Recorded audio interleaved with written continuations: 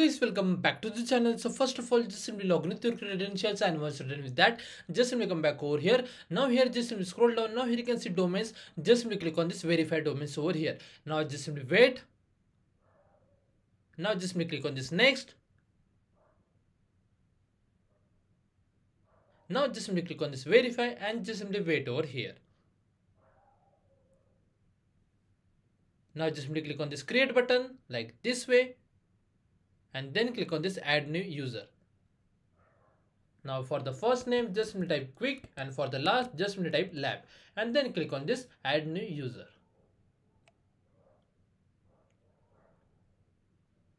And it's done. Now just simply click on this done and this done. Now here you can see download user just simply click over here. And then as a format just simply choose the .csv format and then click on this download now just simply click on this link like download CSV. Now just simply save this file to a local system. And it's done. Now just simply click on this bulk update users. And now just simply click on this attach CSV file and just simply upload the file which you just downloaded over here. And then click on this open and then click on this upload. Now just simply wait over here. It's in progress. And as you can see it's done. Once you're done with this task just simply click on this hamburger over here. Now here you can see account. Just simply click over here and then click on this account settings. Now i request you please pay attention on this task. Now just simply click on this arrow for the profile. Just simply click over here. Now here you can see name. So just simply change this name like this way. And then click on this save now just scroll down. Now here you can see support message just me click over here. Now here just me type subscribe to Qwiklab scroll down and then click on this save. And it's done. Now just scroll up and just me click on this up arrow.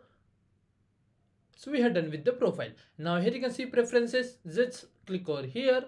And now here you can see new product. Just me click on this pencil icon and just simply choose turn off when it release. And then click on this save so it's done. Now here you can see communication preferences. Just simply click over here and just simply check on all the check boxes like this way.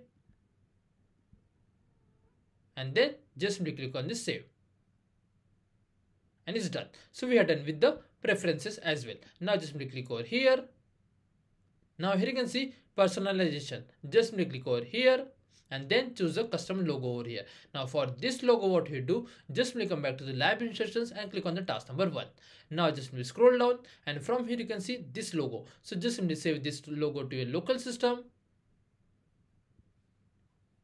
And it's done. Now just simply come back over here and click on the select file and just simply upload the file which is just downloaded for this logo. And then click on this open and it's done. Scroll down and then click on this save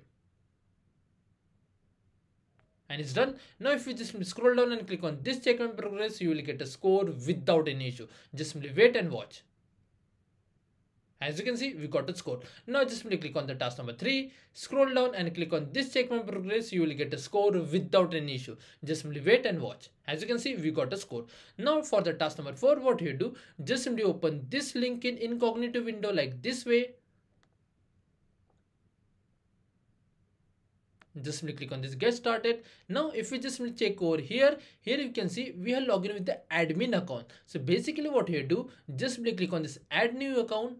Now for this account what you do just simply come back over here click on this directory then click on this users and then click on this name Qwiklab and from here just simply copy this username just simply copy like this way come back over here and just paste the name over here like this way and then click on this next. Now i request you please pay attention. First of all what you do just come back over here. Now for this reset password just click over here. And now just click on this create new password. Now for this password what you do just come back to the lab instructions and from here just copy this password copy like this come back over here and just paste the password over here like this way and then click on this reset. And it's done. Now just simply click on this done. Okay. Now just simply come back to the gmail and just simply paste the password over here and hit enter. Wait for a second now and then click on this i understand. Now here asking for the create a new password. So what you do just simply paste the password which you just copy from the lab instruction page like this way okay and now after this password just simply type 123 now again just simply paste password over here and after this password just simply type 123 you can go, go with another password but this is a very easy way. So just simply click on this save changes and it's done. So now you just simply log in with the quick lab account. Okay. Now if you just simply come back over here and if you just simply click on this check my progress you will get a score without any issue. And that's the way we have to complete this lab. If you still have any doubts please do let me in the comment section guys. Thanks for watching and have a good day guys